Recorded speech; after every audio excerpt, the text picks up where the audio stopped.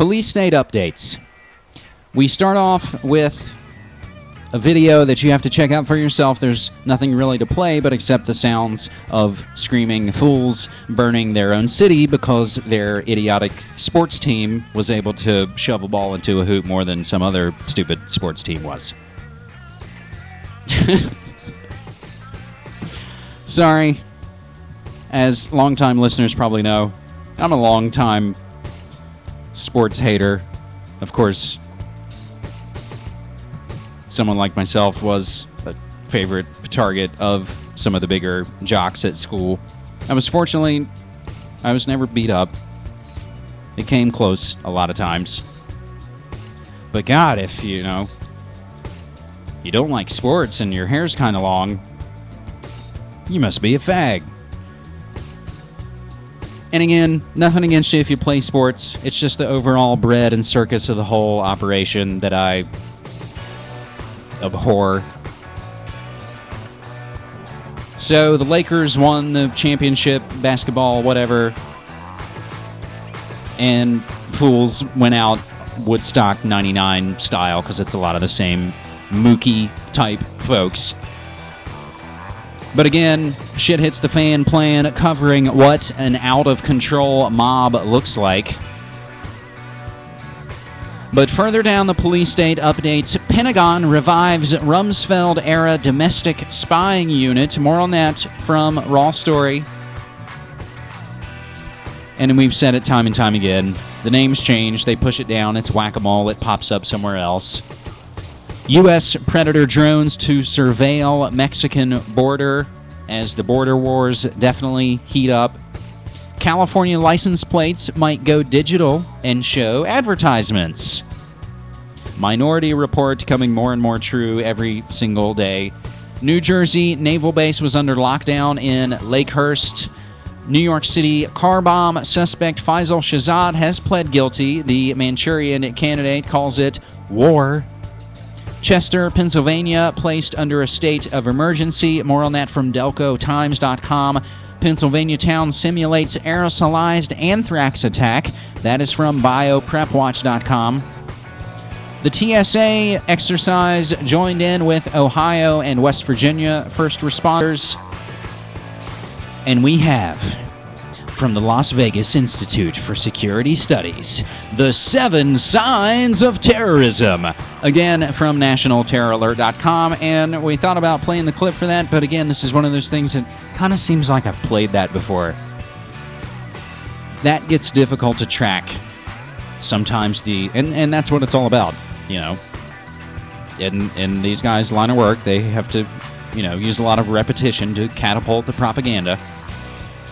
Supreme Court upholds law against advising terrorists. More on that from Los Angeles Times. New York Port Authority warned of alleged terror threat.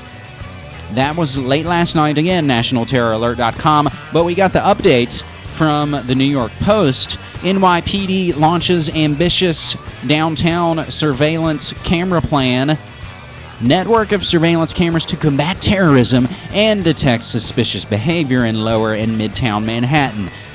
Of course, this all fronted out by Raymond Kelly, head of NYPD. Arrest made after car with weapons and gasoline found near the G20 summit, but that was just the beginning, and that was from Fox News. But we also have another update as again the G8, the G20 starts to kick into gear. We've been covering over the last several weeks the build up, the police state build up for our elites and frontmen and misleaders. The drills, the military, private military industrial complex infesting every area of Toronto in the weeks and months leading up to this very weekend. As again, a lot of things all kind of swirl around at the same time. We always kind of watch warily when there's a weekend that seems to have a solstice, which, of course, you know, pagan numerology. These guys are all essentially, they love the occult. A lot of them won't make a move without uh, consulting their occultants, if you will the World Cup, the G20, the solstice. We now have U.S. Israeli warships steaming ahead. But the AFP reports Toronto turned into fortress for G8 G20 summits. Thousands of Canadian police threw a tight security net over eastern Ontario province Thursday as world leaders began arriving for key summits focused on economic recovery and development. That's what they tell you.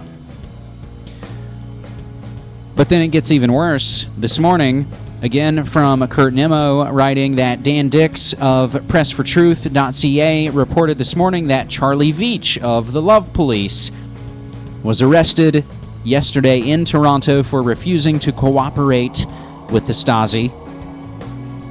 Charlie Veitch produces, of course, videos of his confrontations with government officials and police.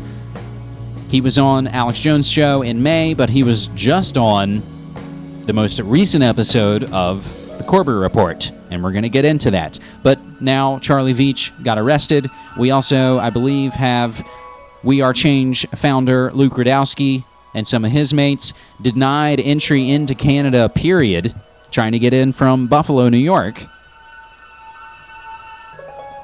And the lockdown is on. The last one of these meetings, I believe, or at least the one we saw closest, was in Pennsylvania, where they, of course, were using all those weapons that you always thought were just for those dark terrorists over in some land over there. But no, now they're for you.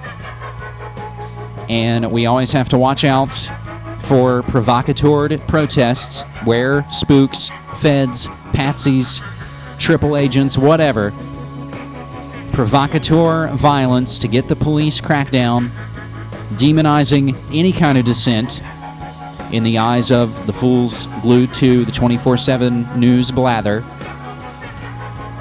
So we watch for false flag, agent provocateur events during these kind of protests. And again, everything's a powder keg. Everything's a tinderbox looking for a spark. Our last police state note another I believe this is the latest article up on tarpley.net on Obama's strategy for the G20 would be keeping toxic derivatives in charge of the world economy. And those were our police state updates, but again, you see more and more and more. It's all related, it's all connected. The G20, the money, the police state, the sound wave cannons, the internet bills, the banksters, the spills, the greenwash, all of it, all connected.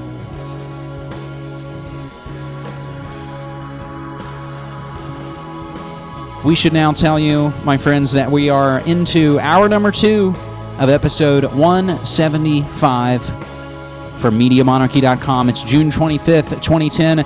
My name is James Evan Pilato. I'm your host and webmaster of the site and show MediaMonarchy.com, your source for alternative news, politics, conspiracies, and cover ups.